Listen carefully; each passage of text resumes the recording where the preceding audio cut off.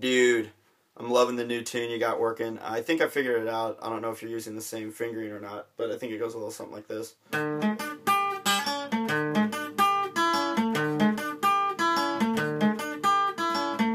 Sounds pretty legit. I love the patterns. Uh, I love the notes you chose.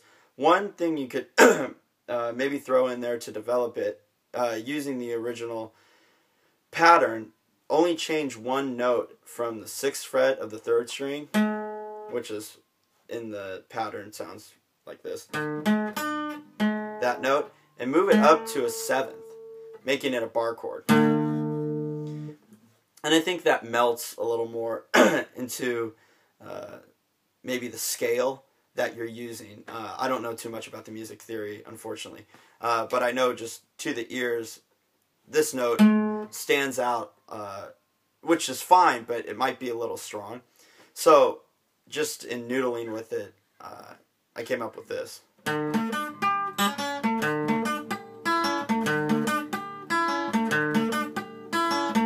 As opposed to the original. Uh, one thing I usually do when I'm noodling, usually I come up with a lick that's within like five frets. So, uh, just to spice it up or just to try to find a new lick or a new chord progression, I always go down, whatever lick I come up with, I always go down a third.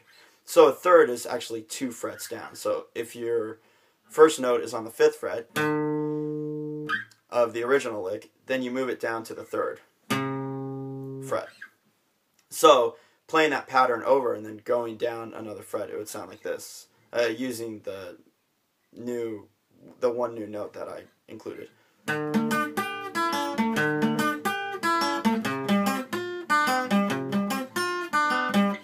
Something that's really common in grunge is that when they bring that pattern back, they go to the low notes and they go up a third, up in thirds. So, starting on the fifth fret. And then to bring that back, they go. Very common. I have this tuned in drop D since your first note was on a D. So she wants the D. Anyway, uh, since I have it in drop D, uh, what's cool is that just to do a bar chord, you just need one finger. But if you use the same pattern that you normally would in regular tuning for a bar chord, it creates this kind of I don't know. They're haunting chords to me, but I love those chords, and you can only make those chords if you're in drop D, uh, because otherwise you'd have to like stretch seven frets. So putting those three elements together, the one new note, going down the third fret and bringing it up, the tune would sound like this.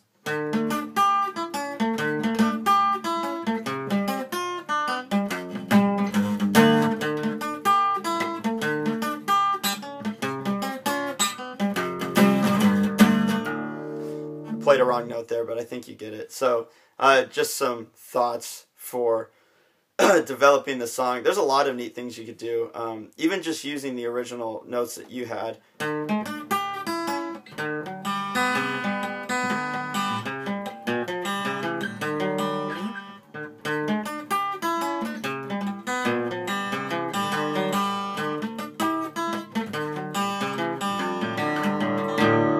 don't know. I'm just noodling. Uh, but yeah, I'll keep dinking with it, and maybe we can actually write a song together. That'd be pretty freaking legit. So anyway, dude, uh, I'll talk to you later. Peace.